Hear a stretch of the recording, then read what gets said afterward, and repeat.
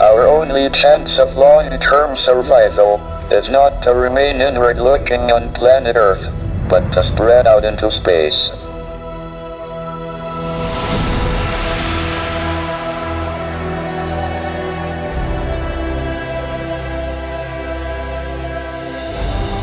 Doing what's never been done before is intellectually seductive, whether or not we deem it practical.